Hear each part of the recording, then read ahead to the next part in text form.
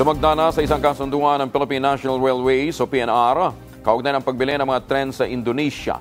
Pinangunahan ito ni PNR General Manager June Magno at uh, Industry Kereta API o PT Inca President at Director na si Budi Nobiantro. Batay sa ulat na nagkakalaga ng 485.3 million pesos ang mga tren na bibilihin ng Department of Transportation mula sa nasabing kumpanya sa Indonesia.